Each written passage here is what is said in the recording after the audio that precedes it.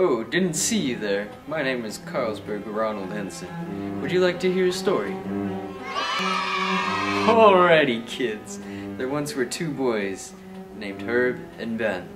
These two boys were real movers and shakers in their time. One day, bored as a sleepy dog on Columbus Day, the two boys decided to partake in a chilly glass of milk. Running to the fridge, the two boys opened the fridge to find the milk jug had only one glass of milk left. The battle had begun. Ben and Herb fought over the milk till something magical happened. They were sent back in time to New York in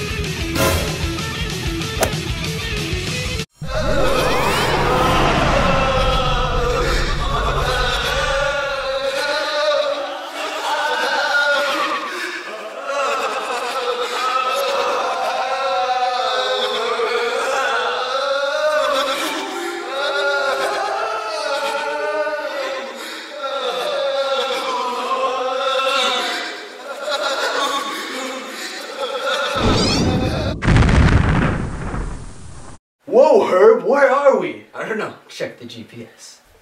Whoa, brethren! What does thou hold in thou possession? It's a GPS, you old fart.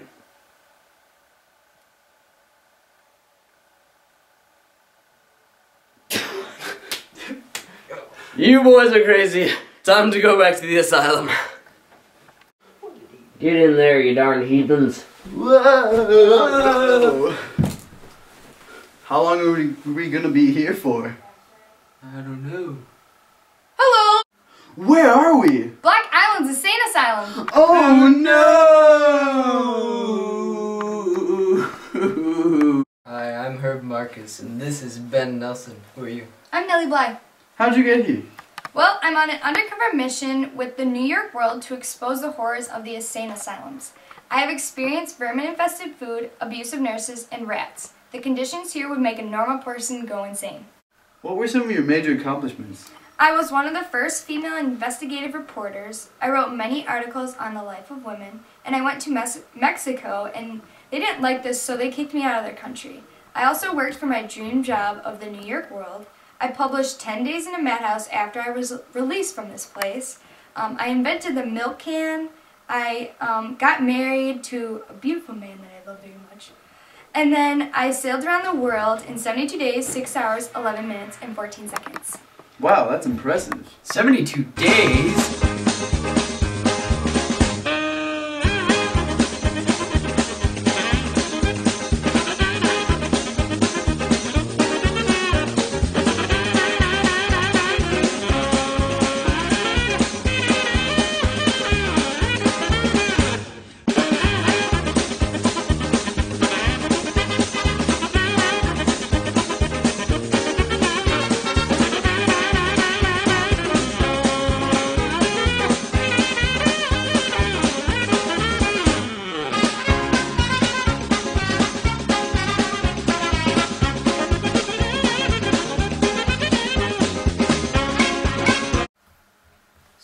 Why should citizens of America be concerned about this place? The terrible conditions that I have brought to attention are insulting to society.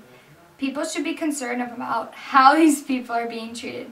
If you were forced to live in this place because you're mentally sick or your family forced you into this hospital, would you want a comforting environment in which to live or a bad one? These conditions seem not appropriate for anybody. If we ever get out of here, what advice do you give the children of 2011? If I could give the kids of 2011 advice, I would tell them that you can always find some way to do what you love no matter what you what people say you should and shouldn't do, and always follow your dreams. That is quite deep. Mark, how are we even gonna get out of here? I have no idea. Well, I invented this milk can! Whoa,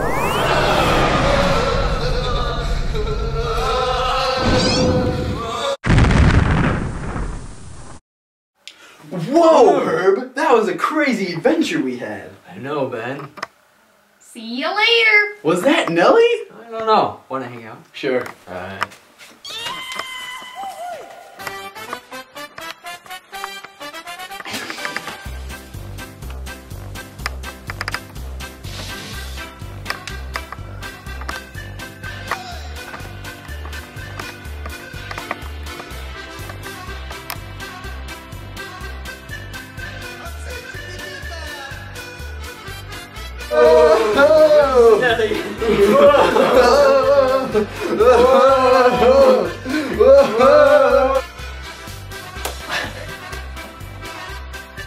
Hey, get in there, you darn heathens.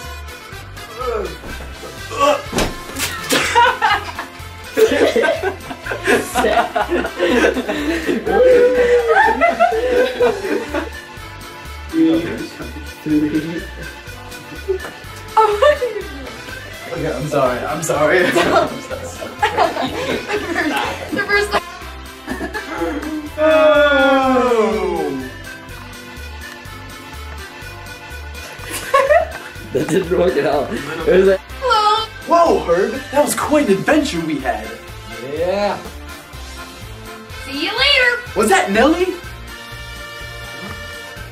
Of course it was. What? I don't know. what What is that?